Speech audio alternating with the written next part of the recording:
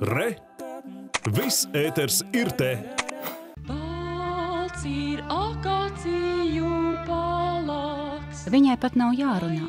Viss ierakstīts klusumā un acīs, smeldzīgu mulsuma pilnas acis. It kā nekas nenotiek, un notiek viss.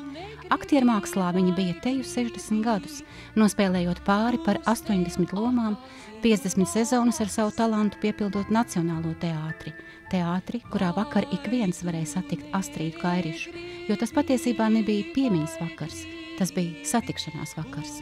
Astrīda ir pa kādu šķirbiņu ienākusi visu mūsu sirdīs, ne tikai skatītāji, bet arī viņas kolēģi, teātra cilvēku sirdīs. Un viņa tādu vakaru bija nopelnījusi, protams. Atmiņās par aktrisi dalījās leģendārās ceturtās garderobas meitenes - aktrises Māra Zemdega, Lolita Cauka, Lāsma Klugrēna, Līga Liepiņa un Daiga Gaismiņa, par kurām pati Astrīde teikusi tā. Man ir laimējies ar līdzcilvēkiem. Nav jāiet uz baznīcu savas sāpes un pārdomas izsacīt mācītājiem, jo man ir lieliskas draudzenes. Es vienmēr esmu palikusi pie tās pārliecības, ka tas, ko viņi ir sacījis tikai man, lai pie manis arī paliek. Un man ir ļoti rūpīgi jādomā, kas ir tas, ko strīd akceptētu. Kad mēs stāstam, viņi ļoti sargāja. Un viņi sargāja varbūt ne tik daudz sevis, bet visus tos sev tuvos, kas bija viņas sirdī.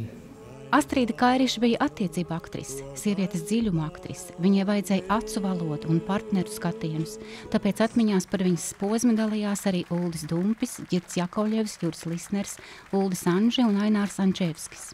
Es tā domāju par Astrīdu, un es iedomājos, ka viņa patiešām ir viens zelta gabals, kas pa laikam atdala no sevis putekļus, un šie putekļi nosēžās teātrī, citur vairāk, citur mazāk. Kā jau nu kāds ir apbiris ar šiem astrīgas zelta putekļiem, tad man liekas, ka mēs abi ar Uldu varētu spīdēt tā kā tāds spožas smaigs. Tādu teātri, kādu viņa atstāja aiziedam mūžībā, tādu viņu vairs neatrast. Viss iet uz priekšu, viss mainās, pasaule mainās. No vienas puses tas ir labi, no vienas puses žēl.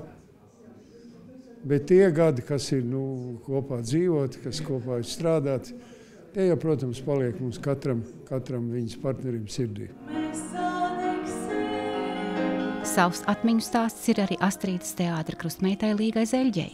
Sākumā viņi vienmēr nāca skatīties manas lomas, un mēs par viņām runājām. Es gāju skatīties viņas lomas, un mēs par viņām runājām. Un tad vienā brīdī viņa teica, Līga, es sapratu, ka es par tevi vairs varu nesatraukties. Turies un uh, ej uz priekšu, un tev viss ir labi. Klusa, mierīga, bet ar suģistējošu, neatvairāmu, dedzošu skatienu. Tāda bija Astrīda Kairiša, kura par spožu tika atzīta arī klusējoša. Katram aktierim ir sava liktenīgā zvaigzne, un tās lielums ir ietverts robežās. Tu nevari izlūkties vairāk un nevari pieprasīt vairāk. Un es jums varu teikt, ka es esmu laimīga. Uz satikšanos ar Astrīdu Kairišu bija Eva Heinsberga, Armāns Rudzītis, Latvijas televīzija.